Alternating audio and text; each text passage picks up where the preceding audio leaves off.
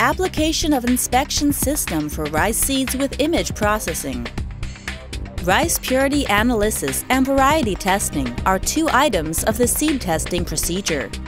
Since rice seeds have chaffs, the seeds, which are heavier, are usually separated from the lighter chaffs by using a seed blower. Then the seeds are poured into the inspection system for rice seeds with image processing. The inspection system for rice seeds with image processing has two major parts, operating interface and the discrimination zone for seed image. Their functions include automatically feeding rice, counting grains, capturing images, recollecting grains, and constructing an image database. First, turn on the video camera switch on the human-machine operation interface. Then choose the rice varieties you would like to identify.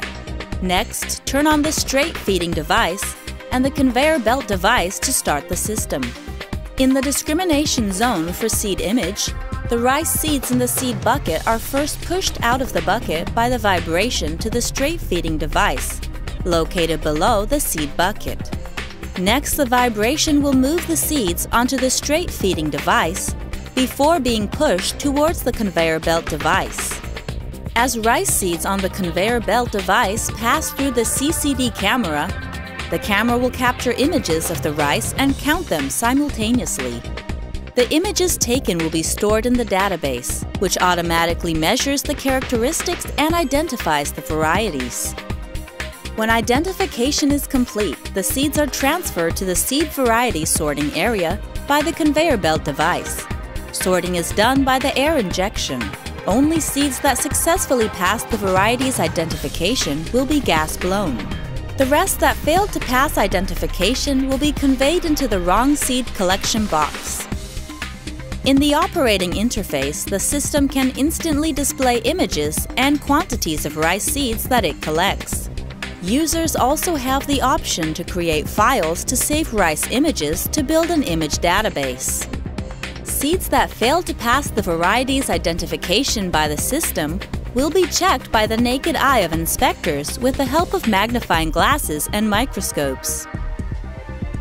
The characters of rice seeds that are inspected includes rice length, rice width, proportion, the colors of the lemma and the palea, the length and color of glume, apiculus color, the existence and length of awn, the position of hairs on the seed coat, and the length and shape of the seed coat.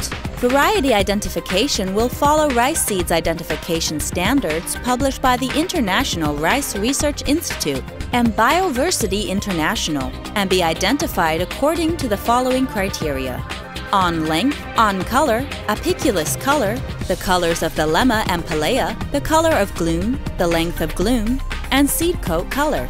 Our goal is to establish a rice variety and purity inspection system that is both fast and precise in order to shorten inspection time and avoid farming delays. We also wish to be a gatekeeper for Taiwan's exceptional quality rice by ensuring the purity of rice species.